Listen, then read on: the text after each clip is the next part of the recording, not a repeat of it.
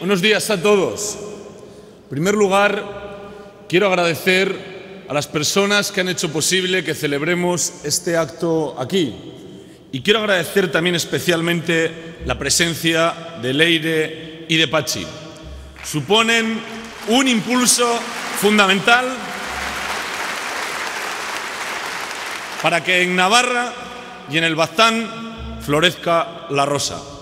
Pero quiero hacer un agradecimiento más especial y más sentido, si cabe, a los compañeros que son esa planta, ese rosal que va a llenar de rosas el Baztán.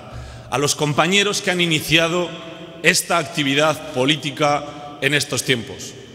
En esta tierra, en una tierra que ha sido difícil, en una tierra donde el socialismo de manera organizada había dejado de estar hace muchísimo tiempo porque no era fácil decir aquí que es ser socialista, porque aquí apretaba mucho el miedo, apretaba mucho el temor por culpa del nacionalismo radical que cercenaba derechos y libertades. Vamos avanzando y una muestra inequívoca de ese avance es que hoy estamos aquí, hemos venido para quedarnos y en esta tierra fértil el socialismo será mayoritario.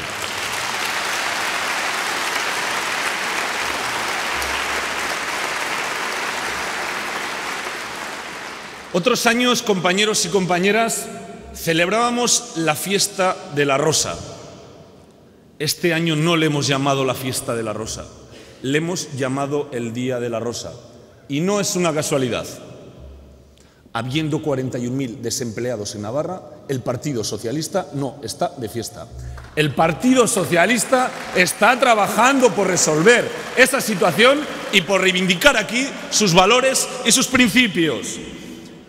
Y es que hay que hacer análisis certeros de la realidad. No hay que menoscabar o disminuir la gravedad de la situación. No vamos a ser nosotros quien lo hagamos, pero tampoco hay que magnificar las cosas. Porque magnificando los problemas sencillamente no se resuelven. Y a eso es a lo que se están dedicando los conservadores. Los conservadores solo están pensando en poder, en mociones de censura, en cálculos electorales, en encuestas. Qué pena, qué pena. Porque la desgracia de los ciudadanos parece ser que es su fortuna. Pero ahí estamos los socialistas, para pensar en el conjunto de la sociedad, para pensar en aquellas personas que peor lo están pasando, las 41.000 personas que están en el desempleo en Navarra y esas 3.000 familias que están en renta básica. No podemos tener resignación los socialistas, porque como decía Azaña, la resignación es conformismo y el conformismo es conservadurismo. Y los socialistas ni somos conservadores, ni estamos conformes, ni nos resignamos.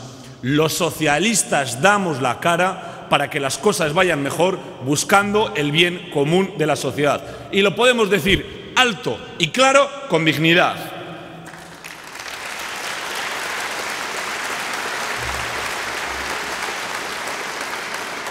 Y aquí en Navarra se ha dicho antes por parte de la Secretaría de Organización, estamos satisfechos con la labor que estamos realizando.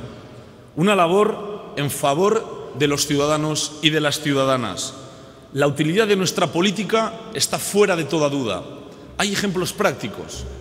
Hoy en Navarra hay gratuidad de libros de texto, que efectivamente no estaba en la agenda del Gobierno de Navarra de UPN.